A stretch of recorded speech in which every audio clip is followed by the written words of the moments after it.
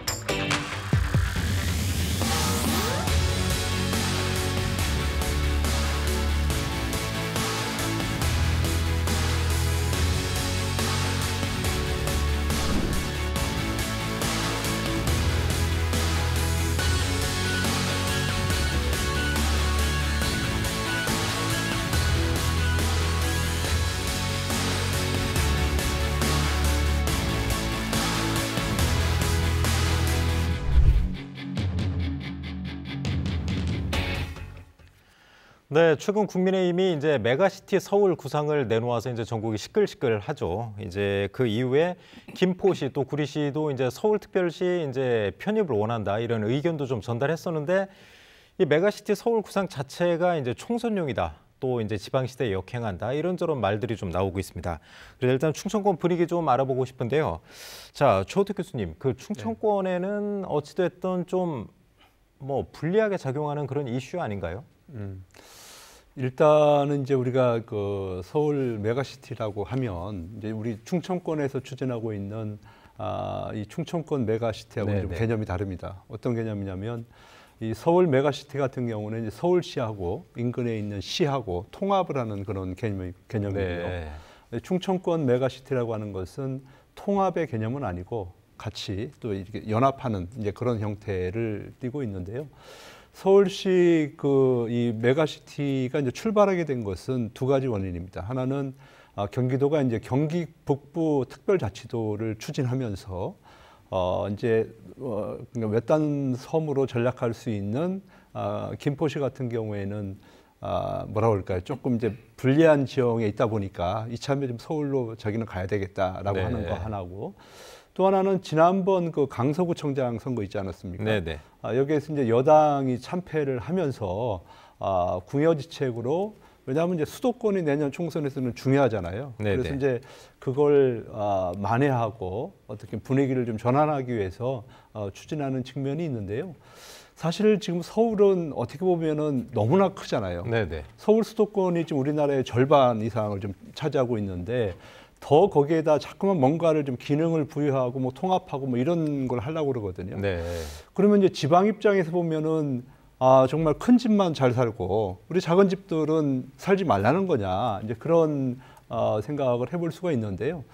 저도 이제 우리 칠남매 제가 장남이거든요. 네. 예전 같으면은 장남한테 교육도 많이 시키고 재산도 물려주고 그래서 이제 장남이 잘 되기를 바라고 그러면 그 장남이 동생들을 이렇게 보살피라고 생각을 했는데 네. 근데 지금은 그거는 이제 개발도상국 시절에 그랬던 거고요. 우리나라가 이제 오면 이제 선진국 대열에 됐는데 지금 만약에 장자에게 모든 것을 어 소위 얘기하는 이제 몰빵을 한다고 그러면 밑에 동생들이 가만히 있겠습니까? 그거 가만히 있지 않습니다. 근데 지금 이제 형국이 딱 그런 형국이라는 음, 거예요. 그러니까 보시기에 교수님이 보시기에도 서울이 좀 지나치게 좀 비대해지고 네. 뭐 지방 시대에는 분명히 좀 좋지는 않다 이런 입장이신가요? 그러면 그러니까 뭐 대통령께서 말씀하신 지방 시대를 얘기하지만 그러나 실제적으로 하는 걸 보면 하시는 걸 보면 오히려 서울의 역할을 더 강화시키고 서울을 더 거대하게 만들고 있기 때문에 네. 지방 입장에서는 좀 어, 먼저 지방 분권이 먼저이지 서울을 키우는 것은 그거는 우리가 지금 논의할 문제는 아니다 그런 생각을 하고 있습니다. 네. 네. 이성 교수님이 이제 메가 서울 구상인데 이제 이렇게 나온 다음에 이제 지역에서 이제 시민사회 단체도 그렇고 정치권에서도 그렇고 좀 비판 성명도 좀 많이 냈었어요. 이제 네. 지방시대에 역행한다 네. 그런 비판이 좀 나왔었는데 분위기는 좀 어떤가요 전체적으로? 분위기 뭐 안 좋죠. 안 좋으니까 이제 좀 충청권은 좀 뒤늦게 뒷북치는 그런 형국이 돼버렸는데 이게 뭐 민선 7기에서도 메가시티 논란 저 논의는 꾸, 꾸준히 있었어요. 그리고 이제 국가균형발전위원회 체제에서도 지난 정권이죠. 어, 국가의 균형 발전이라는 그런 대의를 어떤 정책으로 어, 만들어가는 과정에서의 어떤 메가시티 그러다 보니까 지역 중심이었죠. 예, 영호남 쪽 특히 이제 영남은 부울경이라든가 더- 저희는 충청권 메가시티. 네네. 근데 이번은 이제 어, 완전히 좀 다른 형태의 접근 방법인 거예요. 지금 최호택 교수님 말씀하셨지만 뜬금없이 김포 편입 문제가 나오더니 거기서 서울 메가시티 얘기가 나오고 그리고 지역이 반발하니까 지역 메가시티도 함께 추진하겠다. 또 거기에는 이제 어, 김기현 어, 국민의힘 대표가 좀 리딩하는 그런 모습을 취하면서 네. 이거 내년에 수도권 어, 선거 불리하니까 아, 판 흔들기 아니냐 뭐 이런 부분이 있기 때문에 이게 과연 진정성 있는 것인가 그리고 이렇게 굉장히 큰 지역 균형 발전이 됐든 아니면 전체적인 국가 균형 어, 개발이 됐든 이런 부분을 좀 체계적으로 여론도 수렴해 가면서 지금 단계적으로 접근하지 못하고 있다는 또 그런 비판이 있지 않습니까? 네. 그런 측면에서 어, 지역 균형 발전이라는 대의를 충족시키기 위한 메가시티 정책 이렇게 보기가 굉장히 어려운 어, 그런 모습이고 그러다 보니까 충청권도 이게 우리도 가만히 있으면 안 되지 않냐 이러면서 약간 뒤따라가는 어, 그런 모습들을 보이는 것이 좀 안타깝습니다. 자 정윤선 의원님은 좀 어떻게 보고 계세요? 어, 저는 도시는 그 생명체와 같은 하나의 생물체라고 보고 있습니다. 그래서 도시가 성장하고 쇠퇴하는 데는 다 이유가 있고요. 행정구역은 단지 도시를 관리하거나 운영하는 수단일 뿐이지 이게 주가 될 수는 없다고 생각합니다. 어, 요즘 이제 김포 얘기가 많이 나오는데요. 어, 김포 같은 경우에는 서울의 지하철 9호선, 그 황금 노선이죠. 여의도, 어, 반포, 그리고 강남, 잠실까지 있는 노선이 김포를 가게 됐습니다. 그러면서 어, 많은 사람들이 상대적으로 집값이 저렴한 김포로 이전을 하게 됐고요. 김포는 경기도에 있지만 서울화가 된 지역입니다. 그렇다면 서울과 같은 생활권으로 봐야 되고요. 이런 김포의 서울 편입은 오히려 도시 성장이나 도시 생태에 아주 그 합리적이고 적절한 시기라 이렇게 생각을 합니다. 그 다만 제가 말씀드리는 거는 이제 김포뿐만 아니라 서울과 생권이 같은 과천이나 부천 그리고 하남 뭐 이런 지역들도 실은 김포와 같은 맥락입니다. 그래서 서울의 행정구역이 커진다고 해서 어, 비수도권의 도시가 어떤 영향을 받느냐 뭐 그런 건 아닌 것 같습니다. 네. 어, 서울은 서울이고 어, 비수도권은 비수도권이고요. 다만 이렇게 서울이 광역화되면은 서울의 기본적인 도시의 기본적인 문제인 광역 교통 또는 주거 해결이 한 지자체에서 합리적으로 이루어지기 때문에 어, 메가로폴리탄 도시 관리에는 더 효율적이다 이렇게 보고 있습니다. 네. 사실 이제 이번 구상이 이제 비판이 나오는 게 사실 오랜 기간 이런 정도의 이제 그 정책을 추진하려면 오랜 기간 이제 연구 용역도 좀 추진하고 논의가 있어야 되는데 그게 없이 좀 갑자기 추진하다 보니까 좀 비판의 목소리가 좀 나오는 것 같아요. 아무튼 충청권에서도 이제 지방시대 역행한다 이런 좀 그 생각을 갖고 그동안 충청권 메가시티가 약간 좀 주춤한 거 아니냐 이런 비판도 있었는데 최근에 들어와서 보면 좀 진행이 또 빨리 되고 있는 것 같아요. 최호택 교수님은 거기 또 업무도 담당하고 계시죠? 네, 그렇습니다. 지금 네. 어느 정도 상황에 와 있는 건가요? 어, 먼저 이제 그 충청권 메가시티를 위해서 어, 그동안 뭐 준비했던 상황들을 제가 간단하게 좀 설명을 드리면 네. 2015년도에 충청권 상생협력 기획단이라는 것이 발족이 되었고요.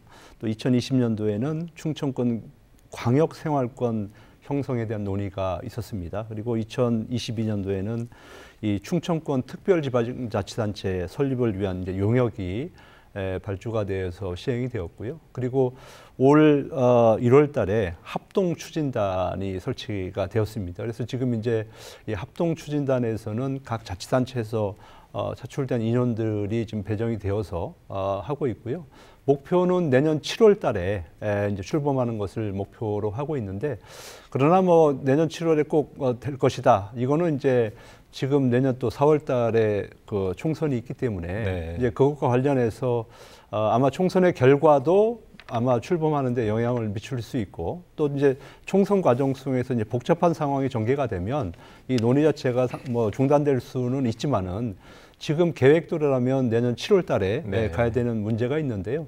그러나 좀 몇 가지 걸림돌이 있기는 합니다. 그 네. 그 첫 번째가 사실은 이제 그 광역 의회가 구성이 되는데 아, 어떻게 지역별로 어떻게 안배를 하느냐 네. 이 문제가 이제 중요한 문제이기도 하고요. 그다음에 광역 청사가 있어야 되는데 이것도 어디에다 배정을 하느냐 이것도 이제 중요한 문제일 것 같고요. 네. 또 거기에 이제 돈이 필요하지 않습니까? 그래서 돈은 어떤 방식으로 어, 서로 분담을 할 것인지 이런 문제들이 아마 해결이 어, 돼야지만이 원활하게 이제 추진이 될 수 있다 네. 이렇게 보여집니다. 알겠습니다. 네. 지금 최호택 교수님이 이제 진행 상황하고 그 과제까지 좀 자세하게 점검을 해주셔서 이제 광역의회 의석수 배분 갖고도 좀 마찰이 좀 있고 이제 청사 또 가장 중요한 게 뭐 예산 문제겠죠. 그 이희성 교수님이 보시기에는 이제 좀 정상적인 진행을 위해서 과제가 있다면 다른 건 또 어떤 게 있을까요?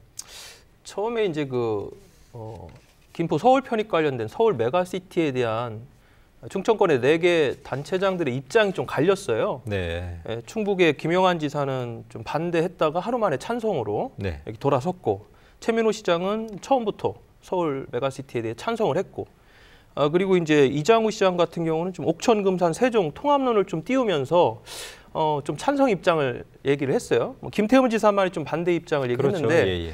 제가 이제 보면은 이렇게 어, 겉으로는 서로가 어, 합의문도 채택하고 한 가지 하나의 목소리를 내는 듯하지만 또 강론으로 들어가면 지금 서로가 이제 동상이몽이 되는 경우가 굉장히 많거든요. 음. 또 구체적으로 어느 정도 어, 뭐랄까 물살을 좀 탄다고 할까요? 이러면은 거기에서 파열음이 생기는 그런 경우를 아, 제가 종종 그렇겠네요. 봅니다. 예. 그래서 그 부분이 굉장히 중요하다고 저는 보여지고요. 2027년에 이제 하계 유대회가 있지 않습니까? 네. 이 부분을 좀 마중물 역할로 좀 잘 활용했으면 좋겠다 이런 생각을 좀 갖고 있습니다. 사실 이제 충청권 메가시티가 원래 내년 1월에 출범 예정이었다가 이제 여러 가지 문제로 좀 미뤄지면서 내년 7월까지 이렇게 됐는데 또 내년 총선 이후에 정치 지형이 바뀌고 본인들의 이제 입지가 어떻게 되느냐에 따라서 또 좀 말씀하신 대로 동상이몽을 다 하고 있기 때문에 변수가 상당히 좀 많은 것 같습니다. 자, 정윤선 의원님은 좀 어떻게 보고 계세요? 예, 그 서울 메가시티와 충청권 메가시티는 좀 큰 차이점이 있습니다. 아, 서울 메가시티는 김포가 서울로 가서 하나로 통합되는 것이지만은 어, 충청권 메가시티는 네 개의 자치단체가 연합을 하는 것입니다. 즉, 그러니까 개념 자체는 다른 거네요. 이제 예, 예. 메가 서울은 행정적인 통합이고 맞습니다. 이쪽은 이제 그냥 연합해서 하는 거고요. 그러니까 시집 와서 한 집에 사는 거고 요건 한 지붕에 네 가족인 거죠. 아, 다르기 때문에 적절한 것 같습니다. 예, 예. 그렇기 때문에 어, 서로의 생각이 다를 수가 있습니다. 그래서 어, 현재 그 합동추진단에서는 하고 있는 사업이 산업, 공간, 인재, 문화관광 여러 분야를 한꺼번에 처음부터 시작하려고 하는데요. 이 서로 다른 가족이 한 집에서 살 때는 어, 하나 작은 것부터 하나부터 이렇게 맞춰가는 것이 중요할 것 같습니다. 그래서 사업을 많이 하려고 하지 말고 어, 네 사람 다 필요한 어, 기본적인 사업부터 먼저 성공을 한 다음에 이걸 넓혀가는 게 중요하겠고요. 네. 이것조차 쉽지 않은 게 제가 이제 과거에 이 자리에서 한번 말씀드린 적이 있는데요. 광주하고 전남이 같이 혁신도시를 가져갔습니다. 공동 혁신 도시 그 조건으로 이제 세금을 가장 많이 내는 한전을 나주에 유치하게 됐는데요. 이를 유치하면서 나주시는 저 전남도와 광주시에 약속을 한 게 공공기관이 내는 세금은 모두 다 지역 발전 기금으로 제출하겠다라고 이제 합의 각서를 썼습니다. 네. 그 나주시가 뭐 말씀드렸던 것처럼 이행을 안 했죠. 15년 넘게. 그 얘기는 뭐냐면 어떤 금전적인 경제적인 이해관계가 부딪히게 되면 아무리 지자단체 간 합의가 이뤘어서도 그게 진행이 안 된 게 바로 연합체의 기본적인 특성입니다. 네. 그래서 어, 많이 하지 말고 할 수 있는 거 확실한 거 하나부터 시작하자 이렇게 말씀을 드리겠습니다. 그래서 제가 봤을 때는 아, 먼저 추진해야 되는 것이 각 지역의 에, 이익이 되는 부분보다는 네. 그러니까 지역을 넘어서 같이 이익을 볼 수 있는 부분 있지 않습니까? 예를 들어서 어떤 게 좀 있을까요? 예를 들면 이제 그 교통 인프라죠. 아. 네, 이게 뭐 광, 충청권 광역철도를 네네. 놓는다든지 아니면 이제 환경 문제도 포함될 수 있어요. 그러니까 네. 금강이라고 하는 게 이제 에, 전북부터 해가지고 또 이렇게 충남까지 흘러가는 거잖아요. 그러면 이제 그 중간에 자치단체들이 끼어 있기 때문에 그것도 같이 연합해서 할 수 있는 부분이 있고요. 저는 제일 어, 우리가 이제 중점을 가지고 해야 되는 부분이 뭐냐면 그 동안에 사실은 이제 정부에서 어떤 뭐그 어, 국책 사업을 이제 유치하고 할 때 우리 그 충청권에 있는 지자체들끼리 경쟁을 벌였어요. 그러다 보니까 서로 피튀게 싸우다 보니까 한 곳도 선정이 안 되는 이제 그런 결과를 많이 가져왔거든요. 그렇죠. 그래서 차제에 이 충청권 메가시티를 통해서 각 지역마다 기능별로 특성화를 좀 시켜야 된다. 그래서 그 기능을 수행할 때는 전폭적으로 지지하고 또 그 기능을 가지고서 국책 사업에 도전했을 때는 어 그냥 같이 도전하지 말고 지원해주는 이제 그런 역할들을 수행하다 보면 저는 자연스럽게 긍정적 효과가 부정적 효과보다는 많을 것이다. 이제 그런 생각을 좀 가지고 있습니다. 예. 충, 충청권 시도지사가 네 가지 요구 조건을 냈잖아요. 거기에 두 가지가 이제 기업이라든가 특히 대기업이죠. 그 다음에 공공기관, 대학에 대한 충청권 이전에 대한 요구를 했고 그리고 가장 중요한 또 어, 의대 정원 확대에 대한 요구 이 네 가지 중에 한 두 가지가 포함이 되는데 이 부분이 사실은 지금 말씀하신 대로 막상 결정이 되거나 가시화되면 지역 내에서 또 다른 예, 경쟁 구도로 갈 수밖에 없고 또 그것을 또 공모 형태로 전환하면 거기서 또 파열음이 생기고 그래서 지금 말씀하신 대로 네 가지의 거대한 요구 조건을 내 세운 게 중요한 게 아니고 또 요구 이 요구 조건이 대부분 영원함도 같은 요구 조건을 내 걸어요. 네. 그게 아니라 우리 충청권에서 먼저 선제적으로 필요한 내용들 지금 말씀하신 두 분께서 얘기하신 그런 것부터 시작하는 게 좋겠다. 저도 그렇게 생각합니다. 사실 이제 연합을 한다고 하더라도 말씀하신 대로 이제 충청권 광역철도라든지 이제 공동의 이익에 걸려서 이제 힘을 모을 수 있는 부분도 있지만 뭐 예를 들어서 이제 세종시에서 하고 싶은 그 KTX 뭐 세종역 같은 경우는 예. 이제 오송역과의 그런 문제 때문에 또 충북에서 반대를 하고 있잖아요. 사안마다 충돌 가능성도 상당히 좀 있겠네요. 그러면 추진도 좀 어려워지고요. 근데 오히려 우리가 이제 다르게 생각할 수 있는 부분이 뭐냐면요. 우리가 예를 들어 대전시만 하더라도 어, 고속도로 톨게이트가 여러 개가 있지 않습니까? 여러 개가 있다라고 해서 불편하지는 않잖아요. 네. 오히려 좋지 않습니까? 네. 근데 만약에 이제 충청권 메가시티가 공식적으로 출범을 하게 되면 아마 충북에서도 또 다른 생각을 할 거예요.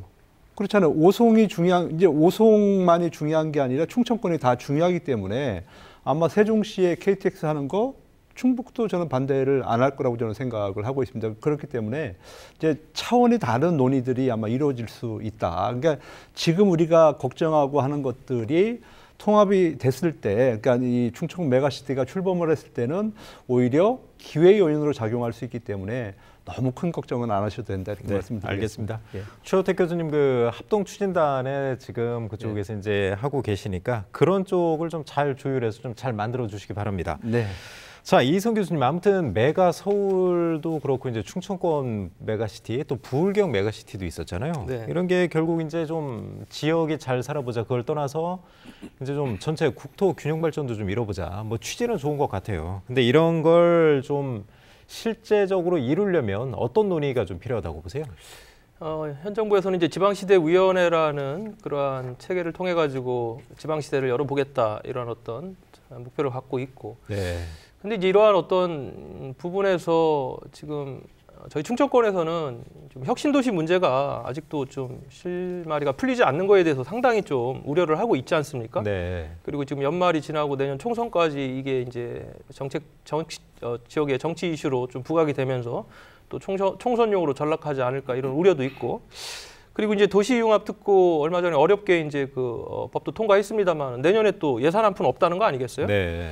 그러니까 말 그대로 균형 발전을 위한 메가시티라는 거대한 담론은 주, 좋지만 지금 이전에 했던 정책들이라든가 또 현재 진행되고 있는 그런 지방 분권에 관련된 또 국토 균형 발전에 위한 정책들을 하나하나 좀 챙겨보는 그런 과정이 더 필요하지 않을까 저는 그렇게 생각을 합니다. 네, 알겠습니다. 이제 충청권 메가시티 또 메가시티 서울 구상 부분은 이렇게 좀 정리를 하고요. 두 번째 주제로 한번 넘어가 볼게요. 그 연구개발 예산이 이제 대폭 삭감이 돼서 사실 대덕 특구가 있는 대전에서 특히 이제 충격이 컸었는데 이제 예산 국회가 시작이 됐어요. 그래서 이제 민주당에서는 예산을 복원하겠다. 그리고 국민의힘도 뭐 전체 복원하겠다는 얘기는 안 했지만 현장의 목소리를 반영해서 일부 복원을 좀 하겠다. 그렇게 좀 뭐 뜻을 밝혔는데 최호택 교수님 한번 정리를 해주시. 여야 입장이 약간 차이는 있죠 지금?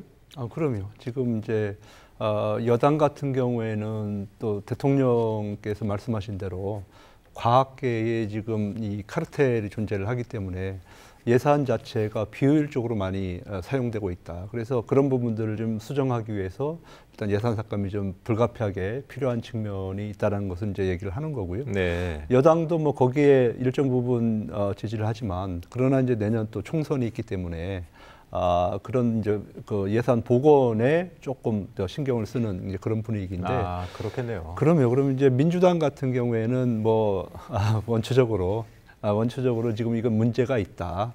그거 뭐 일부에서 얘기하는 뭐 이 과학계 카르텔이라고 하는 것은 그냥 대통령님 주위에서 아, 그냥 호사가들이 하는 얘기인데 그걸 고지고대로 믿고서 예산을 삭감했다. 이제 이런 층 이제 이렇게 네. 인식을 좀 하는 것 같아요. 네네. 그래서 어, 원래대로 대한민국의 백년 대기를 위해서는 과학기술 정책의 예산이 삭감되는 것은 용납할 수가 없다. 그래서 이제 완전 회복을 아, 위해서 아마 예산 심의하는 과정 속에서 아마 어, 복원을 위해서 최대한 노력을 하지 않을까 뭐 그런 생각을 좀 하고 있습니다. 그 이성 교수님 이번에 이제 그 본회의가 이제 11월 말부터 또 열리고 아무튼 예산 문제가 가장 이제 그 12월에는 핫한 이슈가 될 것 같아요. 네. 여야 입장이 근데 상당히 좀 다르지 않습니까? 이거 갖고 많이 좀 정쟁이 심화되겠죠? 실제 이제 이권 카르텔로 규정을 하고 예산을 무려 16.7%나 감소를 해놓고 보니까 반발이 만만치 않습니까? 않지 않습니까? 그리고 실질적으로 이게 왜 이렇게 예산을 대폭적으로 깎게 됐는지에 대한 이유를 명확히 밝히지 않고 있어요. 그러니까 최우태 교수님 말씀하신 카르텔. 일, 부 원로들 원탁에 참여했다가 그 이야기를 듣고 대통령께서 깎아라 이거 안 되겠다 이렇게 해서 이제 깎였다 이런 얘기가 지금 계속 도는 거 아니에요. 그리고 카르텔이라고 하면은 도대체 뭐냐 그리고 그 부분을 좀 도려내고 핀셋처럼 좀 걸러내고 새로 하면 되지 않, 않냐 91년도부터 지금 어? 국가 R&D 예산이 91년도에 이 시작이 된 R&D 예산이 이게 깎인 게 처음 아닙니까? 이것도 16.7%란 대폭적으로 그런 데에서 이제 우려가 있는데 어, 저는 아무튼 가장 이제 그 피해를 보는 것은 아무래도 포닥이라고 하는 그 박사를 마친 이후에 연구 과정으로 들어가는 그 젊은 어, 그 연구자들이 가장 피해가 크거든요. 네. 이제 백년대계 미래 세대에 대한 준비 이 얘기를 그래서 그래서 하는 건데 그래서 이제 지금 어, 여당도 그런 측면을 좀 인지를 하고 예산을 좀 살려보겠다 이렇게 하고 있는데 그 소위에서조차 어, 법사 그 위원회에서조차 또 여당이 좀 퇴장하는 이런 모습들을 보이면서 이거 앞으로 총선까지 좀 정쟁으로 끌고 가는 게 아니냐 이런 우려가 있는 겁니다. 예. 정윤서 위원님은 좀 어떻게 보세요? 예, 그 연구개발 예산에 대한 그 집행에 대한 논의는 실은 노무현 정부 때부터 계속 반복되어 왔습니다. 어, 연구개발 예산은 과학기술부만 하는 것이 아니라 R&D 예산은 그 산업부, 중기부 그리고 교육부까지 총체적으로 하고 있고요.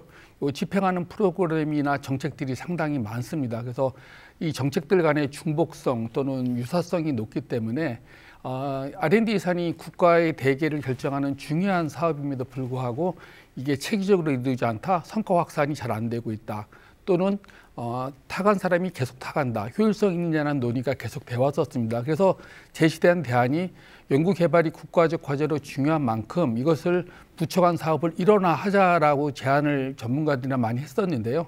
아, 부처한테 사업과 예산은 권한입니다. 그러다 보니까 모든 부처들이 어, 총론에는 동의하면서 막상 합치자 하면은 아, 부서 이기주의가 칸막이가 작용을 해서 안 내놓고 있는 상황입니다. 그래서 물론 이 연구개발 예산을 삭감하는 건 매우 잘못된 일입니다. 그렇지만 더 중요한 건 부처가 흩어져 있는 유사 중복성을 간추려서 성과 확산을 이수도록 일어나는 이 사업도 이 계제에 같이 논의되어야 된다고 생각을 합니다. 네.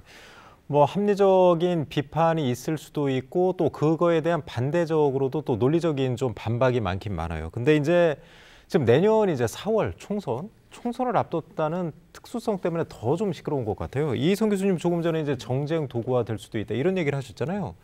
이게 그러면 어떻게 진행이 되든 아무튼 내년 4월까지는 계속 이 이슈가 계속 살아 있을 거라고 보세요? 아무래도 이제 지금 예산 전국으로 지금 하고 있지 않습니까? 네. 연말에 어느 형태든 예산이 좀 정리가 되겠죠. 지난번에 민주당 최고위가 대전에서 개최될 때도 이 부분에 대해서 얘기가 됐었고 뭐 2조 이상 좀 증액하는 안을 좀 갖고 있다라고 했는데 그 부분에 대해서 이제 줄다리기를 하겠죠. 여당과 야당이 줄다리기를 할 텐데 과연 이제 처음에 이권 카르텔이라고 규정한 청와 어, 용산, 용산의 입장이 무엇인지 왜냐하면 요즘 여당의 행태를 보면 은 항상 용산만 좀 바라보고 있는 것 같아요. 그래서 그 부분이 좀 음, 뭐랄까요 변수가 될 수 있을 것 같은데 어, 그런 그런 부분에서 서로가 양보하거나 서로가 동의하는 정도의 예산이 통과된다면 내년 총선까지 끌고 가기에는 좀 어렵지 않나 이런 생각이 좀 듭니다. 네. 예. 최호태 교수님 단기적으로는 영향을 미치겠죠. 왜냐하면 유성구을 같은 경우는 이제 대덕특구가 또 지역구잖아요. 그쪽도 요새 이제 뭐 공천 문제로도 좀 시끌시끌할 것 같은데 아무튼 총선하고 분명히 연관이 돼 있을 것 같아요. 이 이슈가. 그럼요. 지금 뭐 만약 내년 총선이 에, 없다라고 한다면 뭐 이렇게까지 시끄럽지는 네. 않겠죠, 사실은. 왜냐하면 이제 과학계에서도 일정 부분 사실은 이제 이권 카- 카르텔이나 이런 부분에 대해서는 인정을 하고 있어요. 인정을 하고 있고 아, 예산 자체가 사실은 조금 이제 에, 잘못 쓰여진 부분도 있기 때문에 그렇게 크게 반발을 하지 않을 텐데 이제 믿는 힘이 뭐냐면은 내년 총선이 있기 때문에 그러니까 이제 에, 여당보다는 야당 쪽에 과학기술계에서는 아, 이제 구원을 이제 요청하는 거고요. 또 네. 민주당 입장에서는 이제 그걸 들어줄 수밖에 없는 이제 그런 상황일 것 같은데 나는 제가 한마디 좀 드리고 싶은 것은 과학기술이라고 하는 것은 과학기술 예산이라고 하는 것은 저는 정치권이 개입을 하면 안 된다 그런 생각을 좀 가지고 있습니다. 왜냐하면은 이거는 정말로 국가의 백년 대계를 놓고 하는 거잖아요. 근데 지금 이게 정치적으로 이게 에, 이게 이용이 되다 보면 정치의 속성이라고 하는 것은 표를 많이 얻기 위해서 노력을 하는 거거든요. 그렇다 보면 이제 그러니까 먼 미래를 보고 정책이 추진이 돼야 되는데 정책 자체가 잘게 짜겨집니다. 왜냐하면 대상을 늘려야 되니까. 그러다 보니까 실질적으로는 성과들이 나타나지를 않죠. 그러니까 네. 많은 예산을 투입하는데도 불구하고 성과가 없다는 얘기예요. 그렇기 때문에 또 어, 비판하는 쪽에서는 봐라 이 많은 돈을 썼는데도 성과가 없지 않느냐. 또 돈이 또 어, 일부 카르텔에 의해서 잘못 쓰여지고 있지 않느냐. 뭐 이런 얘기들을 하는 거거든요. 네. 아, 그렇기 때문에 저는 아, 이 문제는 아마 내년 총선까지 가기는 갈 것 같은데요. 제가 정치권에게 정중히 좀 아, 말씀을 드리는데 제발 과학기술 예산 가지고 너무 이렇게 저는 좀 장난을 좀 안 쳤으면 좋겠다. 뭐 그런 말씀 좀 드립니다. 교수님, 그 조금 전에 이제 과학기술계에서도 이권 카르텔을 일부 인정하는 부분이 있다고 하고 이제 정부에서도 이렇게 대폭 삭감한 게 이제 카르텔 얘기를 좀 했었는데 네. 사실 명확하게 좀 제시한 건 없지 않습니까 아직까지? 그렇죠. 근데 아마 이제 이, 저는 이번에 이제 국정감사가 있었잖아요. 네. 그래서 이제 국정감사에서 이권 카르텔이 어떻게 작용이 되고 이런 것들이 논의 과정 속에서 감사 과정 속에서 좀 이렇게 파악이 될 줄 알았는데 보니까 이제 그런 것들은 또 별로 중요하지 않게 생각을 하고 있더라고요. 국회의원들 입장에서 보면. 그렇기 때문에 좀 아무래도 이게 조금 논란이 계속되는 거 아닐까 싶은데 왜냐하면 그 이권 카르텔 때문에 삭감을 했다면 명확히 좀 제시를 했으면 이 정도로 좀 반발이 없었을 것 같은데. 그 지금은 뭐 확실한 증거를 가지고 얘기하기보다는 또 이제 주위 분들 얘기를 듣고 나서 아, 아마 이제 그런 결정을 했기 때문에 예산이 아마 전반적으로 또 복원되는 이제 그런 형상으로 가지 않을까. 그리고 이제 예산이라고 하는 것은 항상 마지막에 이제 빅딜이 이루어집니다. 여당과 네. 야당이. 예, 예, 예. 그렇기 때문에 아마 그 여당 입장에서도 또 본인들이 또 원하는 것들이 있기 때문에 그것과 또 빅딜 가능성도 저는 충분히 있다. 그래서 너무 과학기술계에서 뭐 실망을 안 하셔도 좋을 것 같고요. 다만 이제 이게 만약에 이제 이렇게 삭감이 된다고 보면 아까 우리 이성 교수 얘기한 대로 정말로 정규직에 있는 분들은 별 영향을 받지를 않습니다. 네. 아, 그냥 비정규직에 있고 지금 공부하는 학생들 입장에서 보면 그 예산이 주름을 해서 타격을 가장 많이 받는 그런 집단이거든요. 그래서 아, 그런 분들이 타격을 받지 않고 미래에 꼭 아, 연구를 이어갈 수 있도록 정부가 좀 힘을 좀 써야 된다 하는 말씀 좀 드립니다. 알겠습니다. 올해 이제 연구개발 예산 삭감 문제로 좀 시끌시끌했었는데 사실 대전에서 이제 대덕특구는 50주년을 맞는 뜻깊은 해였습니다. 그래서 이제 조금 더 이 문제가 큰 이슈가 됐던 것 같은데 자 정윤선 박사님 그 대덕특구 50주년 이제 미래 또 50주년을 준비해야 되잖아요. 그래서 대전시도 이제 제2 대덕연구단지 또 이제 뭐 산업단지도 조성을 좀 하겠다고 했는데 앞으로 대덕특구 미래 50년 뭐 그런 과제는 어떤 게 좀 있을까요? 예, 그 대덕 연구단지는 1970년대 박정희 대통령께서 국가 산업 단지로 지정을 해서 특구가 개발되었습니다. 네. 이게 이제 기본적인 성격이 국가 산단이다 보니까 입주 업종이 제한이 되어 있습니다. 이제 여러분 대법 특구에 가보셨겠지만 그 안에는 어, 연구소만 있을 뿐이지 어, 뭐 생활하는데 필요한 음식점, 숙박업, 임용실, 어, 이런 것들은 전혀 입주할 수가 없습니다. 그래서 과거에는 국가산업단지가 정부가 주도적으로 관리하기가 쉬웠으니까 그 성격을 유지하는데요. 이제 이 연구는 상당히 자유롭고 또 외국과의 교류도 있어야 된다면은 이 국가산업단지 성격을 지닌 기본적인 성격을 바꿔야 된다고 생각을 합니다. 그래서 현재 어, 대전시가 갖고 있는 시유지하고 몇개 국가연구소를 연합을 해서 이 지역을 reboom하는 그 일을 지금 현재 K 켄달이라는 사업을 하고 있는데요. 굉장히 네네. 바람직한 것 같고요. 또 이제 국가 이 NIS가 국가 산업만 육성할 것이 아니라 이제 우리나라 민간 기관의 역할이 커졌기 때문에 주변 지역, 즉 충청권의 어, 실증 허브 센터로서 역할도 해야 된다고 생각을 합니다. 그래서 일반 기업들한테 기술 이전을 해주고 그들이 필요한 신기술이나 신제품을 만들어주는 그런 영역까지 NIS지만 확대가 필요하다고 생각을 합니다. 네. 이제 다음 주제로 한번 넘어가 볼까 하는데 이 부분 관련해서 혹시 예. 최우택 교수님, 예, 저는 이제 몇 가지 좀 이제 앞으로 어 이제 과제를 좀 제가 네. 말씀을 좀 드리면 첫 번째 제일 중요한 것이 이제 인재예요, 사실은. 인재들이 모이고 여기에 이제 정주를 해야 되는데요. 지금 어찌 보면은 해외의 유수한 인력들이 와서 이제 석박사 과정을 좀 하고 있거든요. 네네. 근데 그 친구들이 이제 학위만 마치면 또 고국으로 돌아가야 되는 이제 그런 상황이에요. 그래서 지금 우리가 이제 인구도 계속 줄어들고 있고요. 특히 이제 과학기술과 관련되는 인구들이 줄어들고 있기 때문에 그분들이 정주하고 아, 한국에서 살 수 있는 그런 어떤 비자 제도라고 할까요? 뭐, 뭐 얼마 전에 한동훈 장관 와가지고 그 얘기도 이제 얘기를 네. 했지 않습니까? 그래서 저도 이제 외국에서 공부할 때 보면 이제 우수한 인력들이 그 나라에서 이제 살 수 있다는 그런 희망들이 있기 때문에 열심히 연구하고 자국민들하고 협조하고 이런 부분들이 있거든요. 그래서 우리나라도 이제 그런 제도를 좀 도입할 필요가 있을 것 같고 또 하나는 어, 이저 대덕 연구단지가 도약하기 위해서는 지금 이제 소위 얘기하는 그 기술 개발에 초점이 맞춰져 있다고 볼 수 있거든요. 이것이 이제 실증을 하고 이것이 산업화로 연결되는 부분이 좀 약해요. 그래서 네. 그 부분을 강화시킬 수 있도록 예를 들어서 뭐 완전 규제 뭐 프리존을 만들어서 어, 마음껏 실증하고 또 산업화할 수 있는 이제 그런 공간 또 정부의 지원 이런 것들이 좀 이루어질 수 있는 시스템을 만들어야 되겠다 하는 생각을 좀 해보고요. 또 하나는 지금 이제 그 어, 이장우 시장 이제 530만 평 정도의 이제 산업단지를 하겠다라고 하는 것이잖아요. 그래서 이렇게 준비된 그런 공간들이 아, 기술 개발과 또 실증을 통과한 아, 그런 그 기술들이 이곳에서 뿌리를 낼 수 있도록 아마 정부에서도 좀 적극적으로 이 산업단지를 개발하고 하는 데에 좀 힘을 좀 실어주면 어떨까 하는 생각을 좀 가지고 있습니다. 네. 같은 맥락인데 뭐 올드해요 너무 어, 예전의 시스템 그래서 규제 말씀하셨는데 그래서 뭐 과학 특별 도시라는 그런 어떤 걸 추진하는 게 결국 이 새로운 형태의 어, 틀을 좀 만들자 이런 취지 아니겠어요? 그런 규제가 너무나 그리고 그 대덕연구단지에 있는 그 토지 그 공간 활용도 지금 뭐채 20%도 활용하고 있지 못한 여러 가지의 그런 문제들 그리고 민간이 들어와서 뭐 하나 할 수 없는 그런 것들 그래서 좀 큰 틀에서는 과학 특별 도시에 대한 부분들을 좀 어, 지역에서는 어, 추- 추진하는 게 좋겠다 저는 그렇게 생각합니다. 예. 그리고 지금 대전시가 가지고 있는 가장 큰 문제점 중에 하나가 그린벨트가 너무 많다는 거예요. 네.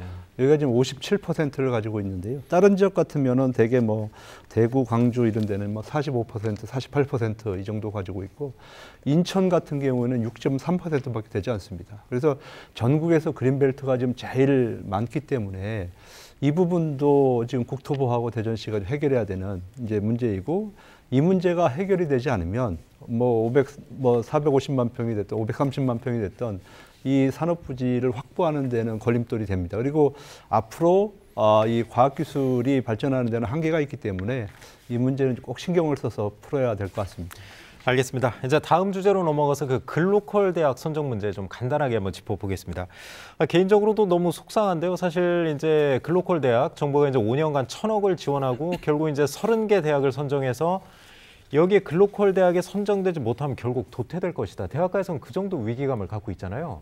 그러면 지금 이제 이 글로컬 30에 들어가지 않으면 어, 대학 미래를 장담할 수 없다 이렇게 얘기를 하고 있거든요. 아니 그런데 대전, 세종, 충남에서는 지금 하나도 안 됐고 이제 순천향대가 예비 지정이 됐다가 결국 최종 관문 못 넘었는데 사실 대학가에서는 지금 상당히 좀 많이 좀 침체돼 있을 것 같습니다. 지금 이제 위기 의식을 좀 가지고 있고요. 근데 이제 문제는 꼭 뭐 이것이 이제 제가 봤을 때는 뭐이뭐 지역 안배를 정부가 좀 고려를 했어야 되는데 그걸 신경을 쓰지 않았느냐 또 국가의 균형 발전과 지금 이제 역행하지 않느냐 뭐 네. 이번 선정을 두고 이제 이런 논란이 좀 있는 것 같아요. 예.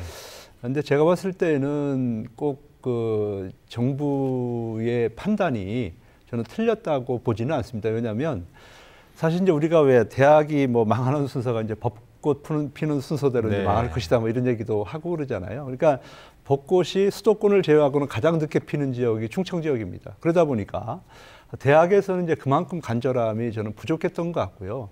비근한 예로 예를 들어서 이제 한밭대하고 충남대가 통합을 전제로 해서 글로컬 대학 신청하지 않았습니까? 근데 막판에 보고서를 제출할 때는 신청서를 제출할 때는 각자 그냥 본인들이 제출을 했다라고 하는 거예요. 그만큼 그 진정성이 없는 거 아니겠어요?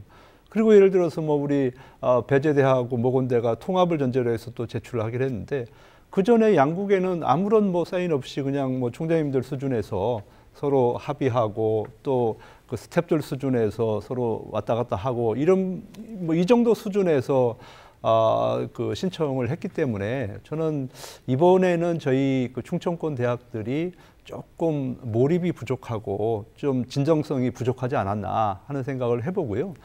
올해 이것이 끝난 건 아니거든요. 그렇죠. 아, 앞으로 이제 아, 20개를 더 선정을 해야 되기 때문에 올해 교훈을 삼아서 조금 더 혁신적으로 저희가 준비를 하면 저는 내년에는 반드시 아, 저희 지역에서도 뭐 선정이 될 수 있다 이런 말씀 좀 드리겠습니다.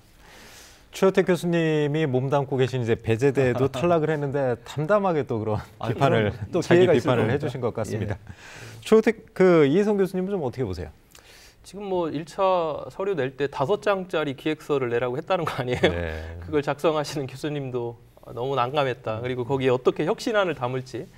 근데 이제 혁신안이라고 얘기를 했지만 두 가지 방점 찍힌 거예요. 구조조정 할 거냐, 아니면 대학 간 통폐합 할 거냐. 그러니까 말은 글로컬 대학이지만 사실 구조조정 정부에서 구조조정을 손 안 대고 코 풀려는 게 아니냐. 어? 어, 어떤 예산이나 이런 걸 편성을 해놓고 나머지의 부분들은 대학으로 떠넘기는 게 아니냐.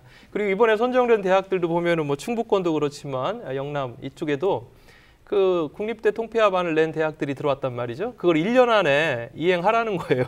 근데 1년 안에 그걸 어떻게 하겠습니까? 구성원들 간에 지금 상호 마찰이 굉장히 심하거든요. 그래서 이러다가는 이 사업 자체가 자초되는 게 아니냐 이런 이야기를 하고 있고 그리고 지금 순천향대가 지금 떨어졌지 않습니까? 네네. 예, 이렇게 탈락한 대학들이 반발을 하니까 왜냐하면 근거를 내라 지표가 뭐냐 이게 정량 정성 지표가 뭐냐 이러니까 이제 교육부가 할 말이 없으니까 이주 장관께서는 또 어, 이번에 예비 에, 대학은 내년에 그대로 유지하도록 좀 이렇게 바꿔보겠습니다 이렇게 좀 말을 바꾸, 바꾸고 있지 않습니까? 그래서 글로컬 대학은 정말 지방대에겐 절실한 그러한 지원 사업이는 분명하지만 이 부분에 대해서 누구나 동의할 수 있는 그런 뚜렷한 어, 부분을 가지고 평가를 했으면 좋겠다 이런 생각을 갖고 있습니다. 정윤선 박사님 이제 최호택 교수님은 사실 그 기준 자체가 뭐 잘못된 거는 아니라고 하셨지만 사실 지역 안배라는 게 그동안 이제 관행적으로 있어 왔잖아요. 그래서 이제 대전, 세종, 충남에 한 개 대학도 안 되니까 충청권 홀대하는 거 아니냐 이런 비판도 사실 지역에서는 있어요. 네. 좀 전체적으로 지역 분위기 한번 짚어주시죠.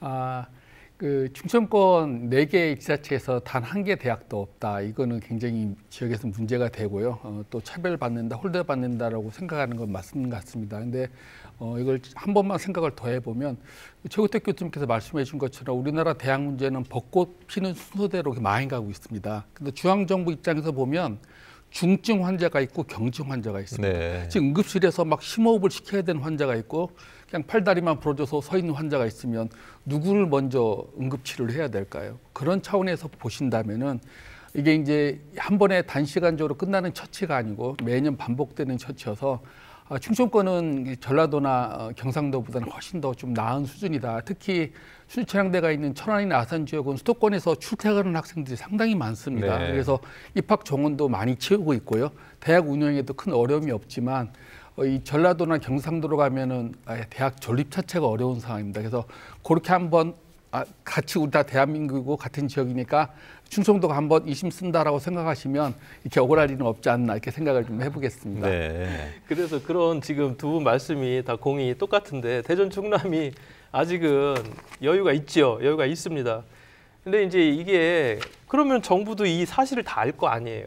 근데 5년간 천억이라는 막대한 예산 지원을 하고 또 글로컬 대학으로 성장시키겠다는 이 정책 그런 비전은 뭐냐는 거죠. 정책 목표는 뭐라는 거죠. 결국은 그렇기 때문에 이게 결국은 대학 구조 조정의 하나의 아, 도구화로 되는 게 아니냐 이런 우려가 있는 것이죠. 네. 그러니까 이제 이걸 이제 구조조정이라고 표현을 할 수도 있고 어, 제가 봤을 때 이제 혁신이라고도 표현을 할 수 있을 것 같아요. 어, 이번에 이제 선정된 대학들을 보면 아마 구조조정을 그 계획하고서 선정된 곳은 없는 것 같고요. 얼마나 이제 혁신을 했느냐. 근데 혁신이라고 하는 것이 우리가 보통 사람들이 수염 하나 기르는 것도 주위에서 얘기가 많거든요. 너 얼굴이 이렇게 지저분하냐 뭐 이런 얘기도 하고 그러는데 사실은 혁신이라고 하면 가죽을 바꾸는 거예요. 근데 에, 충청권 내에서 제출한 그런 혁신안들을 보면 아, 그냥 수염 정도를 기르는 정도이지 가죽을 바꾸는 그런 혁신안들이 보이지 않았기 때문에 아마 아, 그렇게 된 것 같고 근데 저는 이제 교육부 입장을 조금 이해를 하는 부분이 뭐냐면 지금부터 너무 지역의 안배를 어차피 30개를 선정을 해야 되는데 네. 초년부터 어, 30개를 저 아니 그 지역 안배를 신경 쓰다 보면 아마 이제 예를 들어 충남대라든지 큰 대학들은 큰 고민 없이 아마 지원을 하고 네. 또그 선정이 될 거예요. 그러면은 그런 대학들이 혁신을 하지 않으면 또 그 교육부에서 어, 의도하는 목표가 아, 달성될 수 없기 때문에 저는 본보기 차원에서도 혁신에만 이번에 포커스를 맞춰서 아마 선정을 했을 것이다. 뭐 그런 생각을 좀 하고 있습니다. 그 혁신성이 이번에 60점입니다. 100점 만점에. 다섯 장짜리 기획서에 이걸 다섯 장짜리 기획서의 혁신성 그리고 혁신성에 대한 지표도 없습니다. 평가 지표도. 그리고 지금 10곳 선정된 데 보면 다 통합하겠다는 데가 다 선정됐어요. 그러니까 이게 혁신성이라는 부분 단어는 좋지만 그러니까 여기에 참여했던 대학들이 결국은 구조조정 통폐합이라는 그런 부분으로 인식할 수밖에 없다. 결과가 말해주는 겁니다. 제가 최근에 이제 그 충남대학교 이진숙 총장하고 대화할 기회가 있었는데 임기가 얼마 안 남으셨어요. 그런데도 이제 1차 년도 탈락한 거에 대해서 부담을 좀 크게 느끼고 계시고 본인 내년 초에 이제 퇴임하시기 전에 반드시 예비 지정까지 좀 하고 가겠다 이런 각오를 밝히신 거 보니까 충청권에도 이제 내년에 좋은 소식이 있을 것 같기는 한데 사실 올해 초 이제 대전 충남은 라이즈 사업에서도 탈락을 했잖아요. 그래서 이제 뭐 산학 협력의 전문성이 떨어지는 거 아니냐 이런 좀 얘기가 많이 나오고 있는데 아까 최호택 교수님은 계속해서 이제 진정성이 좀 부족하다 얘기를 하셨는데 가장 그 뭐 공모 사업 준비하면서 고려할 점이 있다면 한 두 가지 정도만 간단하게 짚어주시죠. 지금 지금부터는 대학 혼자만 준비해 가지고는 안 돼요. 이거는 이제 자치단체하고 같이 가야 되는데 어차피 라이즈 사업이라고 하는 것도 어, 지역 혁신 중심 대학 지원 체계거든요. 그러니까 어, 대학하고 자치단체하고 지역의 산업비하고 같이 협력해서 앞으로 이제 이 그 지원 사업을 이끌지 않으면 정부에서는 뭐 지원을 해줄 수 없다. 이제 이런 차원인데요. 근데 지금까지 보면 자치단체가 물론 이제 충남 같은 경우에는 조금 전담 부서가 있어요. 독립된 것이. 네네. 그러나 이제 뭐 대전이라든지 세종이라든지 여기에는 지금 이제 대학과 관련되는 직접적인 그런 아, 부서가 없다 보니까 아마 진정성에 조금 어, 어, 뭐랄까 뭐 오해를 오해라고 그럴 거야 아니면은 의심을 좀 받았던 이제 그런 측면들이 있을 것 같아서 저는 대전시가 뭐 제가 이제 계획을 좀 들어보니까 내년에는 이제 전담 부서 뭐 과학뿐만 아니라 이제 국체계까지도 갈 수 있다는 얘기를 좀 들었거든요. 그래서 아, 타 자치단체에서도 이걸 과단위에서 뭐 준비를 하는 것이 아니라 아, 국단위까지 좀 확대를 좀 하고요. 그리고 앞으로는 그 지역의 대학이 없어지면 지역의 젊은 인재가 없어진다고. 보면 되는 거예요. 그렇기 때문에 정말 중요하게 생각을 하고 국정도의 체제를 가지고 대학과 파트너십 또 지역 산업과 파트너십을 통해서 이 문제를 대처해야 된다. 그런 말씀 좀 드리겠습니다.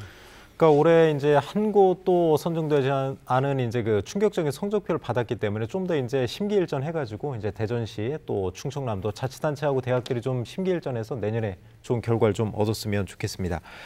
자, 오늘 이제 그 세 가지 주제 준비한 건 여기까지 좀 마무리를 하고 11월에 또 다른 주목할 뉴스가 있으면 한번 짚어볼게요. 저기 이희성 교수님부터 좀 말씀을 해주실까요?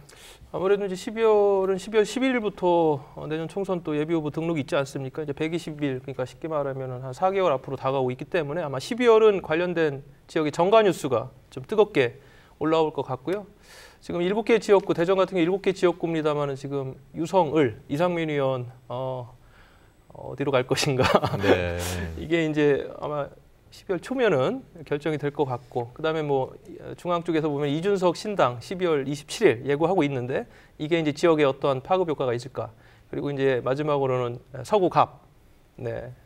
우리 박병석 의장 불출마된 무주공산. 지금 현재 후보군만 한 7명 정도 출마 선언을 한 상태인데 그러한 부분에 있어서 민주당의 어떤 어, 정리되는 어, 그런 모습들 이런 것들을 좀 보고 그다음에 이제 국민의힘 쪽에서는 아, 일곱 석을 전체적으로 다 지금 내줬기 때문에 어, 이 기존의 인물과 새로운 인물군에 대한 어떤 어, 경쟁 구도 그리고 어, 어떠한 음, 그 과정에서의 어, 경선을 어, 준비할 것인가 뭐 이런 것들이 앞으로 12월에 지역 정가에 주목하면 뉴스로 이렇게 생각합니다. 이성 교수님은 아무튼 11월 또 다가올 12월까지 해서 이제 총선이 이제 얼마 안 남았으니까 이제 뭐 정치 관련해서 좀 많이 이슈가 되고 있고 앞으로도 이제 이슈가 될 것이다. 그 얘기를 했고 이제 본격적으로 이제 총선 전국 들어간다 그 네, 말씀이시죠? 네. 자 최호택 교수님도 그쪽이신가요? 지금 이제 가끔 이렇게 카톡 오는 걸 보면 출판 기념회 한다고 엄청 많이. 하죠. 엄청나게 그렇죠. 많이 옵니다. 예. 그래서 저도 이제 에, 가끔 친한 분들은 또 가서 보기도 하고 그러는데요.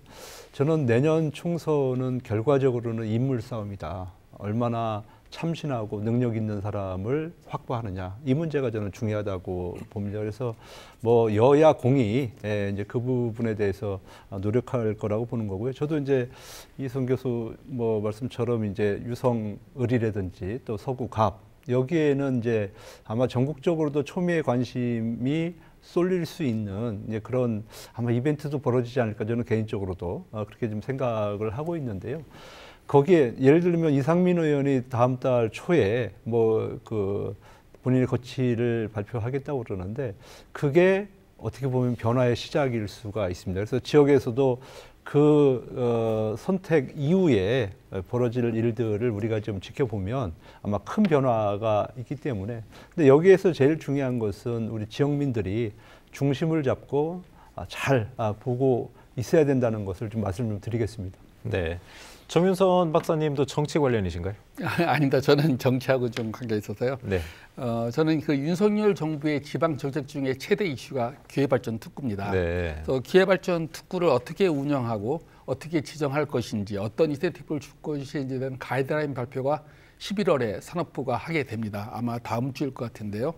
현재 기업발전 특구는 광역시는 150만 평, 그리고 도 지역은 200만 평 이내에서 특혜를 주고요. 예상되는 특혜들이 보면 법인세 100%, 취득세 100%, 면제를 해주는 거고요. 그 다음에 이제 각종 개발 부담금을 100% 탕감해 주는 그런 정책들이 기본적으로 들어갈 것 같습니다. 그래서 이것들은 이제 과거에는 중앙정부가 공모하는 방식으로 나왔는데요. 이건 지방정부가 바텀업으로 어, 올리고 그 올린 정책을 광역이 선정을 하고 광역이 선정한 걸 다시 중앙정부가 선별하는 그런 구조로 있어서요. 아, 아마 지방시대를 개혁하고 지방시대위원회가 출마 어, 출범해서 최초의 최대의 사업이 발표가 이번 11월에 있을 것으로 생각이 됩니다. 네, 그럼 다음 주로 예정된 산업부 발표 지켜보도록 하겠습니다. 오늘은 이제 11월 이슈가 됐던 지역 소식들을 점검해 봤는데요. 앞으로도 이제 지방 시대를 열기 위한 다양한 현안을 심도 있게 논의하고 개선안 찾도록 더욱 노력하겠습니다.